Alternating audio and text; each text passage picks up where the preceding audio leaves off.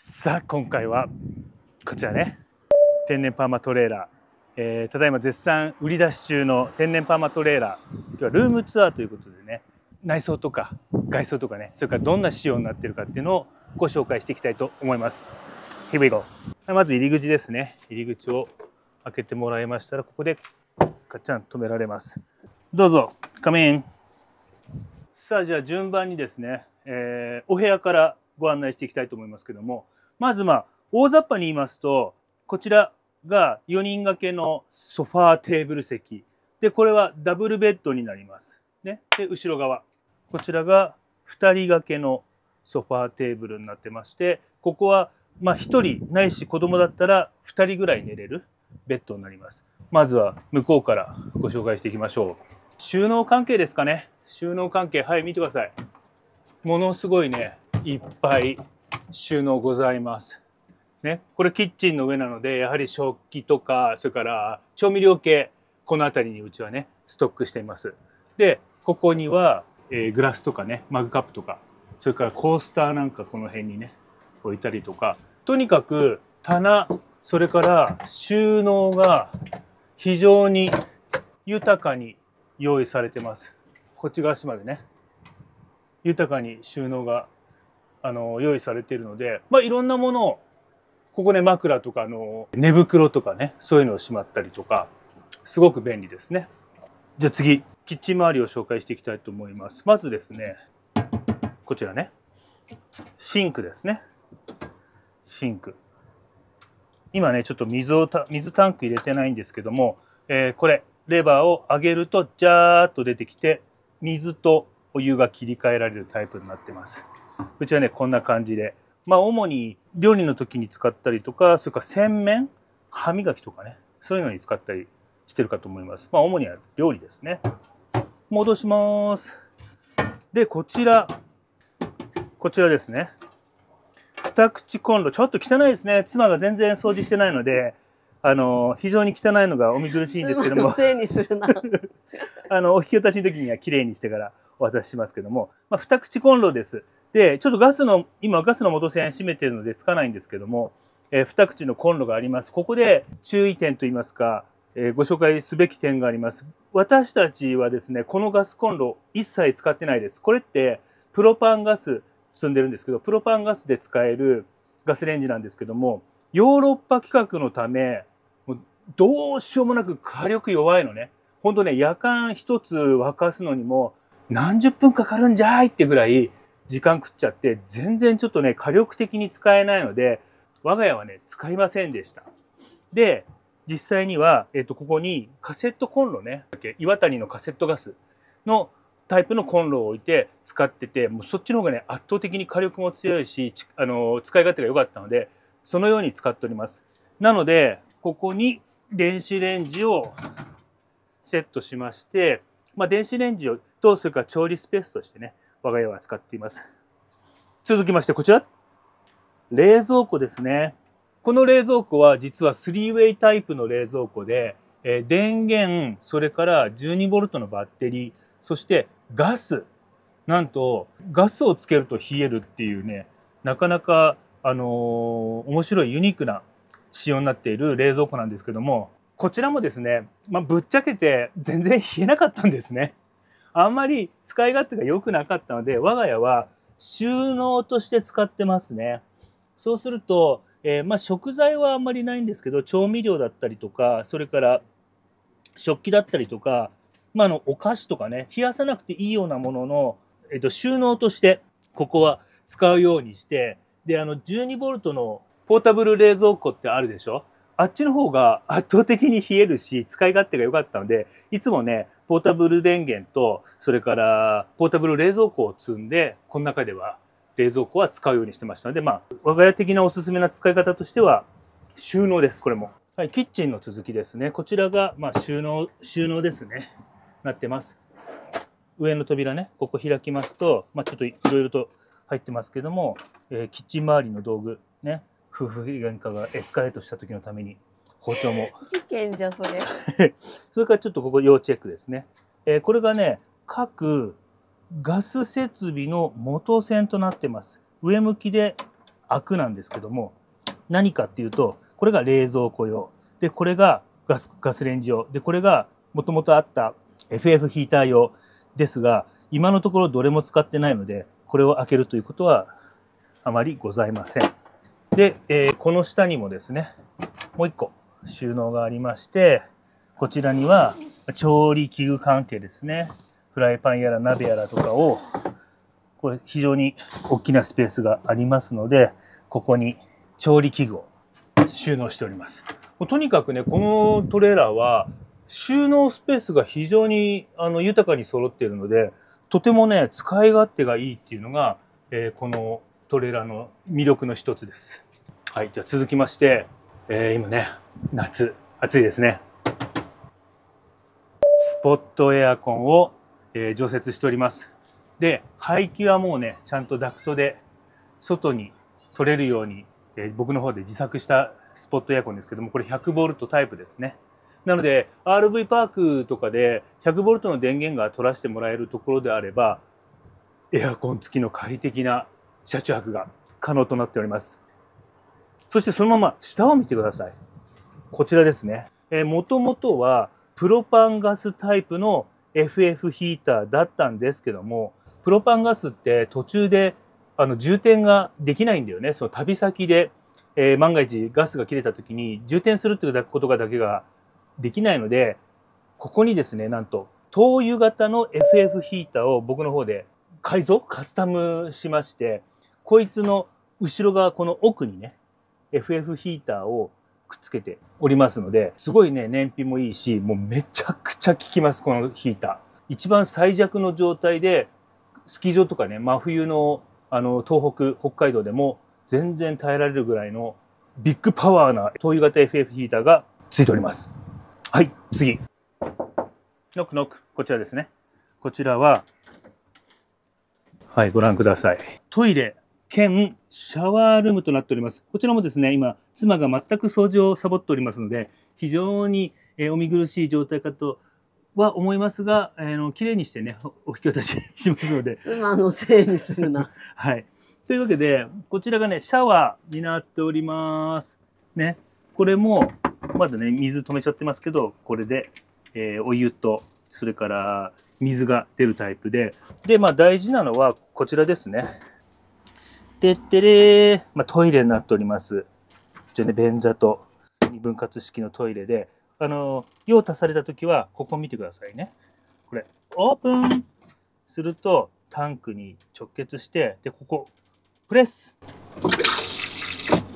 こうすると水が流れるという、なんと水洗タイプのトイレとなっております。で、まあこの中もね、ちゃんと収納とかも用意されてますので、非常に便利です。ユニットバスついております。はい。じゃあこのね、後ろのスペースですけども、先ほど、えーご紹介しました、ここにね、子供が、大人だったらまあ1人、子供だったら2人寝れるベッドがあるんですけども、ちょっとベッド作ってみましょうか。すぐできます。まあ、この辺は、あの、ごく一般的なキャンピングカーと同じような作りですので、特に目新しいものではありませんが、まあ、このぐらいのね、広さのベッドルーム、どのぐらいになるかっていうと、ね、かなり豊かな、ゆ、ゆ、ゆゆとりのある、えーベッドルームですけども、そのベッドの座り心地はどうですか？寝心地。そうですね、うぐいす谷のラブホテルと同じぐらいの寝心地でございます。わからない。さらにこのトレーラーは、なんと2段ベッドになってるんですね。ここを、このキャビネットを展開することで2段ベッドになります。2段ベッドにする場合は、ここに2段ベッドの道具が入っているので、この収納自体が役に立ちませんので、そこはご注意くださいね。じゃあどうやってベッドにするかっていうと、こうです。ここの金具を外します。ここの金具を外します。すると、キャビネットが展開してきます。ガッチャン。はい、ここに、これ電気ですね。それ電気つけましょう。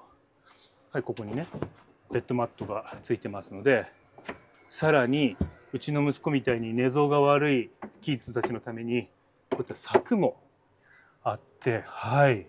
このような感じで、ちょうどね、まあ子供一人分ぐらいの二段ベッドになるんですね。もちろん、はしごもついてるんでね、ちゃんと安全に上り下りもできるようになっております。これちょっと一つアイデアなんですけども、我が家の場合はこれベッドとしては実は使わずにですね、こういう風にして、実はね、上の段を収納にしてうちは使ってるんですね。そうすると、あの、着替え用のバッグとか、まあ、いろんなものをここに置いて、で、下に子供たちが並んで寝るように使っていたので、かなりね、こう、広く使うことができました。で、注意しなきゃいけないのは、走行時は必ずこれを戻してください。開いたまんま運転は危険なので、必ず走行するときは、ベッドは元の位置にね、畳むというのが、えルールとなっております。それからですね、1週間とかね、10日とか旅をしていますと、どうしてもやっぱりこう、夫婦喧嘩ってものは常に起こってしまうものだと思うんですけども、そんな時も安心。なんとですね、部屋が分離できるんですね。セパレートできます。このように、別居生活。はい、別居スタイルができますので、例えば僕だけね、この個室でちょっと反省したりとか、それから、えーヒステリックになった妻をね、隔離するのに、このように、あの、妻悪い前提。なんだ、蛇腹のカーテンで個室もできるようになっていますので、なんとまあ、親切な設計になってるんでしょうか。ね、ありがたいですね。それとですね、えーもう一つ。このように、椅子の下も収納になっているので、無駄なく、すべてのスペースをフルに活用できるように設計されているのが、さすがね、ヨーロピアンスタイルではなかろうかと思います。同じく、こっち側ですね。収納スペースになってます。で、ここは、ここからもエントリーできます。下駄箱的に使ったりとかも、それから傘をね、傘ねここからそう長いものを入れておいて取り出すなんていう使い方も可能です。はい。もう一つ特徴的なところといしますと、このソファーのこのカバーですね。デニムのカバー今つけてますけども、これは実はうちの妻手作りの、えーソファーカバーとなってますので、それからこのカーテン、カーテンもですね、えー私たちの方で DIY して作っています。続いてこちら、えーフィアマ製のルーフファンですね。まだまだね、現役で。おいちょっとあの、風量が強くなると、ネットが干渉して少し音が出ちゃうんですけど、まあ、この辺はご愛嬌ということで、まだまだ現役で使います。これ、ここちょっと見てもらえますか？これ実はね、吸気も排気も両方できるタイプなんですね。非常に便利です。閉めるときは手でね、閉めていきます。さあ、じゃあせっかくなので、こちらもご紹介していきたいと思います。ベッドに展開できるんですけど、それはまあ普通のキャンピングカーと基本同じ仕組みなので、そんなに珍しいものではないかと思います。はい、このね、フロントのソファーカバーも妻が手作りで作ったオリジナルカバーとなってますんで、ちょっとこのサイズがなかなか既製品がないので、うん新しいものをつけようと思ったら多分布を買ってミシンで作らないといけない大くなり変。ます。大変。なんですけど、柄が変わると一気に雰囲気が変わるので、私たちはね、それを大変ですけども、まあ、妻が頑張って作ってくれたのがこちらです。はい、こちらですね。開いてみます。一応、あの、冬凍結しないようにと思ってグラスウール敷き詰めてますけども、あんまり効果はなかった 断熱材ですが、はい、ここペロンってめくると、これね、えー給水タンクがあります。70リットルの給水タンクになっているので、ここ、ここから水、キッチンのシンク、それからトイレ、あ、シャワールームですね。の水、ここから70リットルですね。で、外から給水できるようになってます。後で給水口はご紹介します。で、ここ。これが、あの、ポンプですね。水、水のポンプになってます。これ、えー昨年新品に交換したばっかりなので、めちゃくちゃ調子いいです。さあ、今度はこちらの椅子の下ですね。ここはどうなってるか。オープンまず、これ。これね、すごく便利。ボイラーですね。プロパンガスで使えるタイプのボイラー。約ね、10リットルのお湯を作ってくれます。で、それのスイッチが、これ。これがね、ボイラーのスイッチで、このやつをね、カチンってやるだけで、ボイラーの、ほら、カチってカチってなった言い。ましたけども、今ね、あの、点火しようとしてますね。で、温度をここで調節するタイプとなってます。例えばですが、えー60度とかに設定して、で、水とミックスさせて、自分の好きな温度にして使うと、たくさんのシャワーを浴びることができます。実際には10リットルしかお湯は作れないので、そこをね、うまく混ぜて調整して使うといいと思います。そしてこれ。これが灯油用 FF ヒーターの灯油タンクですね。約10、あ、約10リットルのタンクつけてますので、ここに給湯していただく形で、さっきの FF ヒーターが使えるようになります。で、ここですね。ちょっとね、一部しか見えてないんですけども、これ、えー、リータイムですね。っていうリチウムイオンバッテリーのメーカーさんの2048ワットアワー容量があるサブバッテリー積んでます。ので、結構大容量使えます。えー冬なんかはね、FF ヒーターと照明だけだったら1週間ノーチャージで使えました。それぐらいね、大容量のバッテリー。これも、新品で付けたばっかしなんでね、非常にお得です。はい、じゃあちょっとベッドにしていきましょうか。ガッチャン。よいしょ。はい。この広さのベッドですね。実際に寝てみましょう。172センチのまあ私が、えー寝てこの広さなので、えー大人2人なんつうのは全然余裕で寝れる広さですね。真ん中に子供置いて3人で寝ても大丈夫なくらい？めちゃめちゃゆとりあるベッド。寝心地はどうですか？あのー錦糸町のラブホテルのベッドよりも全然寝心地がいいです。わからない。もうちょっとわかりやすくお願いしまあす、。あの、あれですね。ニトリのベッドマットコーナーの結構ハイランクのベッドマットと同じぐらいの寝心地をお約束します。ちなみに、はい。1週間から10日、ここの布団にずっと寝続けて、どうですか？本当に、あ、下手したら家の布団よりも調子いいんじゃないかっていうぐらい寝心地は非常にいいです。めちゃめちゃおすすめです。さあ最後ね、FF ヒーターですね。